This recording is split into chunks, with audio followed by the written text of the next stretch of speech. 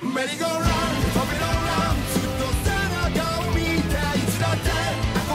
Hola, soy Bash y hola amigos, bienvenidos una vez más a nuestro canal. Y bueno, el día de hoy, como ya es costumbre en el canal, les traigo la review del capítulo 393 del manga de Boku no Hero Academia. Así es, después de dos semanas finalmente regresamos al conflicto de Uraraka contra Himiko Toga. Y como recordaremos, las cosas no iban tan bien para Uraraka en el capítulo anterior, pero a pesar de todo en este episodio, ella continúa esforzándose por tratar de comprender a Himiko Toga y así lograr la evangelización, lo cual honestamente parece que ya está muy cerca, pero ya veremos qué sucede. Además de que también finalmente Uraraka tuvo su power up, pero ya estaremos hablando de todo lo ocurrido en este episodio. Así que sin nada más por añadir, comencemos de una vez. Y bueno, el capítulo 393 está titulado El ego de una chica, más que nada haciendo referencia al ego de Uraraka por tratar de salvar a Himiko Toga a pesar de todo lo que ha hecho. Pero bueno, ahora sí como recordaremos en el capítulo anterior, en medio de la batalla, Himiko Toga comenzó a ver un flashback en el cual Twice le hacía la pregunta de por qué no elegía un hombre de villano. De esta manera precisamente regresamos al pasado para observar esta conversación en la que la liga se encuentra reunida hablando de esto. De primera instancia, Mr. Compress está de acuerdo en esto para que posteriormente Spinner diga que justamente Himiko Toga y Shigaraki son los únicos que no eligieron un hombre de villano, a lo que Twice presiona para que elijan uno, pero en este momento observamos como Himiko Toga haciendo una especie de berrinche simplemente dice que no quiere. En este punto Mr. Compress menciona que esto podría ayudar a su reputación, mientras que Spinner dice que se podría llamar la vampira Carmilla. Y por otro lado Twice dice que podría llamarse Beso Sangriento o Pikachu, a lo que Himiko Toga rápidamente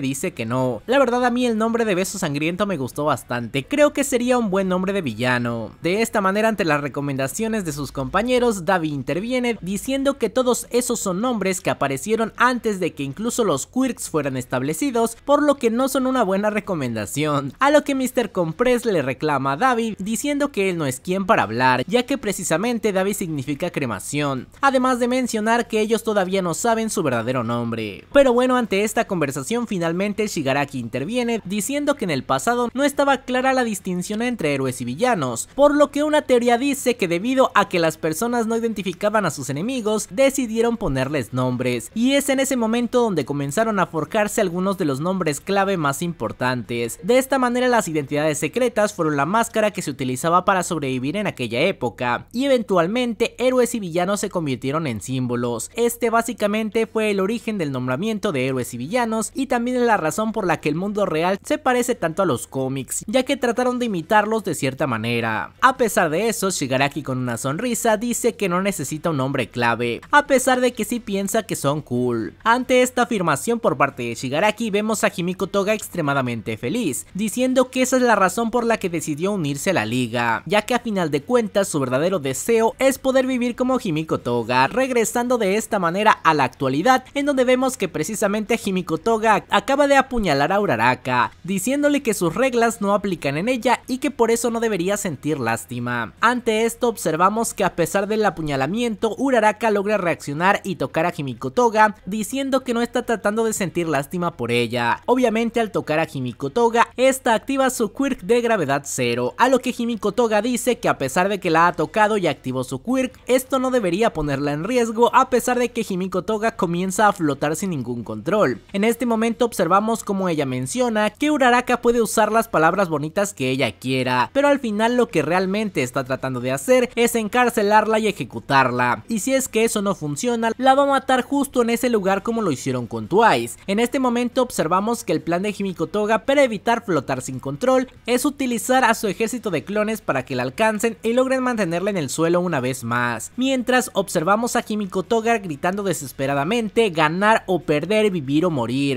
Esto es una batalla por la supervivencia. En este momento finalmente Uraraka responde aunque se ve bastante herida, diciendo que lo que menciona es precisamente lo que la mayoría de personas podría ver, a lo que Himiko continúa hablando diciendo que si lo que siente no es lástima, entonces debe ser solo ego, y si ese es el caso, entonces tu héroe morirás, observando cómo Himiko Toga finalmente logró ser alcanzada por el ejército de Twice, que actualmente puede tomar la forma de todos los que se encuentran en el campo de batalla. De esta manera observamos cómo ante el ejército de Twice prácticamente todos los héroes comienzan a ser arrasados sin tener ninguna oportunidad de defenderse, mientras que los periodistas en el helicóptero que está grabando todo esto sienten que la perdición ha llegado al lugar, mencionando que nunca habían visto nada como esto y repitiendo unas palabras ya mencionadas, es decir que generación tras generación los quirks se van haciendo más y más fuertes, hasta llegar el momento en el que pierdan el control de este inmenso poder, siendo esta la teoría del juicio final de los quirks, la cual se ha transmitido a lo largo de los años y justamente hoy es ese día, el día del juicio final ha llegado, observando una vez más al ejército de Himiko Toga totalmente fuera de control, diciéndonos que al parecer los sentimientos de una chica pueden cambiar el mundo. Básicamente lo que esta teoría nos dice es que el crecimiento de los quirks es exponencial y llegaría el momento en el que una sola persona con un quirk extremadamente poderoso pudiera cambiar el mundo con sus solos sentimientos. Y bueno, en este caso mencionan que Himiko Toga lo está logrando. Y la verdad es que sí, sin duda alguna, Himiko tiene uno de los quirks más poderosos que hayamos visto. Y lo está llevando a un potencial realmente inimaginable. Pero bueno, regresando al combate, observamos que una vez que Himiko Toga controla su ejército, se lanza en contra de Uraraka, diciendo atrápenla y aplástenla. Pero a pesar de este ataque de ejército, observamos que Uraraka logra reaccionar con sus habilidades de artes marciales, esquivando a sus adversarios y tocándolos para hacer que estos se vayan flotando. En este momento observamos que aquellos que se fueron flotando mencionan que a pesar de que sí los ha hecho flotar, esto realmente no les hace ningún daño, a lo que Uraraka responde que ella sabe eso, ya que su quirk de gravedad cero no está hecho para lastimar a las personas. Al escuchar esta frase, Himiko Toga se molesta ya que recuerda las palabras de Uraraka cuando le contó que había usado su quirk, ya que Uraraka mencionó que ella nunca se sentiría feliz por haber dejado caer a las personas del cielo. De esta manera, regresando con Uraraka, esta recuerda las palabras de Himiko Toga en la que decía que si eso no era lástima, probablemente lo que sentía era ego. A lo que Uraraka confirma que tal vez esto sea cierto, ya que ella no puede pretender que no ha matado personas a propósito, pero menciona que cuando ve su rostro, ella no puede dejar de preguntarse qué fue lo que pasó para que se convirtiera en eso, recordando aquel día que se vieron en medio de la primera guerra, explicando que algo debe haberle pasado para que luciera tan triste, a lo que Himiko Toga le responde que eso es su culpa, pero Uraraka rápidamente acepta la culpa diciendo que así es, pero que aún así había más, gritando escúchame Himiko Toga. Cuando nosotros nos encontramos por primera vez, yo estaba asustada porque no te entendía, cómo tú podías sonreír tan genuinamente en medio de una batalla. Observamos que todas las palabras de Uraraka comienzan a golpear a Himiko Toga y ella intenta hacer que Uraraka se calle, recordando en este punto las palabras de Twice, la cual le dijo vive como quieras Himiko Toga, entonces asegúrate de matar a las personas que sean necesarias para que tú puedas convertirte en quien quieres ser realmente. En este momento observamos que Himiko Toga recuerda algunas frases de sus padres en la cual le decían que tenía que dejar de hacer esa cara de loca, mientras que al verse afectada por todas las palabras de Uraraka, Himiko Toga dice muere, ¿por qué todavía no te has muerto? Y la verdad es que me pregunto lo mismo, ya que sabemos que Uraraka se está desangrando,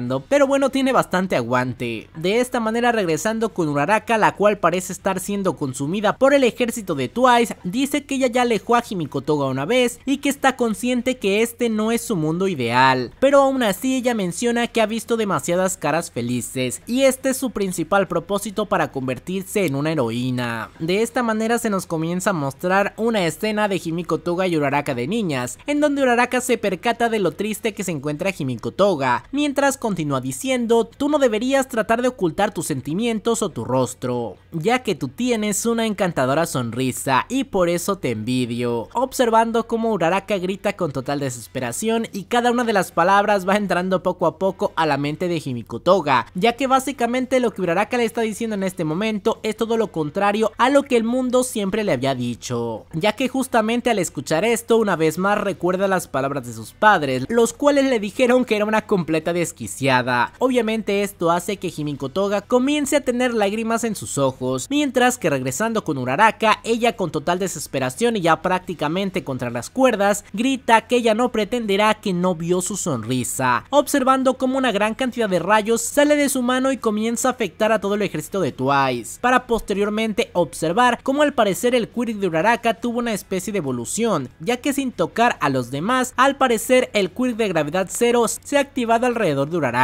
Mientras observamos cómo el ejército de Twice se pregunta por qué están flotando si Uraraka no los tocó, e incluso la misma Jiro confirma que ella está afectando a las personas que ella ni siquiera ha tocado. De esta manera la propia reportera vuelve a mencionar que una sola chica puede cambiar el mundo. De esta manera después de activar este power up por parte de Uraraka, ella menciona, yo no puedo pretender que tú no cometiste crímenes y tampoco puedo aceptarlos, pero si tú necesitas hablar con alguien, yo estoy dispuesta a dar mi sangre por el resto de mi vida. Yo quiero que hablemos acerca de romance, Himiko-chan. Observando cómo Uraraka extiende su mano llena de sangre para intentar alcanzar a Himiko Toga, mientras que vemos una vez más una escena de ambas de niñas, mientras que Uraraka le está ofreciendo su sangre a la pequeña Himiko, terminando con la frase enviándole esos sentimientos a ella. Y así finalizamos el episodio. La verdad es que el capítulo estuvo bastante genial. Se habla muchísimo acerca del ego de Uraraka, ya que como se menciona, ella está intentando salvar a una villana que realmente ha cometido muchísimos crímenes, pero a pesar de todo intenta comprenderla. Y sabemos que cada una de las palabras que Uraraka está diciendo en este episodio nunca se las habían dicho a Himiko Toga, es decir, desde el principio nadie la había aceptado tal cual era, siempre la habían rechazado, y el único lugar donde se sintió aceptada fue en la Liga de Villanos. Es por eso que las palabras de Uraraka en este momento son tan importantes, ya que a mi parecer, a pesar de que Himiko Toga sabía que lo que hacía era incorrecto, también comprendía que no tenía ninguna otra opción, ya que el mundo tal como lo conocía jamás la iba a aceptar, pero en este momento Uraraka parece que le está ofreciendo una oportunidad, aunque siendo literales, honestamente no sé cuál es el plan de Uraraka, es decir, a final de cuentas yo creo que sí la va a encerrar como dijo la propia Himiko Toga, y después supongo que visitarla en la cárcel para intentar que se adapte al mundo, pero la verdad es que no estoy tan seguro cuál es la solución. De cualquier manera los ideales de Uraraka me parecen bastante buenos. Por otro lado me sorprendió bastante la evolución del quirk de Uraraka y la verdad es que va bastante bien con su propio quirk. La única evolución que tuvo a final de cuentas es que puede extender su quirk sin tocar al adversario, cosa que se me hace bastante importante va de acuerdo al quirk de gravedad cero. Pero bueno, supongo que ya para el próximo capítulo estaremos viendo la respuesta de Himiko Toga, dudo mucho que vayan a seguir hablando al respecto, aunque eso sí todavía sigue pendiente la pregunta de qué van a hacer con Uraraka, la cual está gravemente herida y sabemos que no parece haber ningún curador o doctor cerca, pero tomando en cuenta que solo fue un cuchillo y hay personas que han recibido un daño mucho mayor, lo más probable es que Uraraka a final de cuentas va a estar bien, tal vez se ponga una venda y a seguir peleando. Pero bueno, ahora sí hemos terminado el capítulo, me encantaría que me dejen su opinión y teorías en los comentarios, ¿creen que Himiko Toga se va a evangelizar? ¿Podrá ser que incluso ayude a los héroes? Ya lo veremos. Pero bueno, ahora sí antes de despedirme, quiero agradecer a todos los miembros del canal que siempre nos están apoyando. Y muchas gracias a Orlando, De Loco Steve, Al Cojo Gamers, Junito Furcal, Caboyat24, Emanuel Castro, Luis Rodríguez, Lalo MFGM, Alex Gamer, Irvin Sánchez, Alex Pilo, Rain505, Rodrigo García, Fanny Morales y Jonathan B. Y ahora sí, sin nada más por añadir, adiós.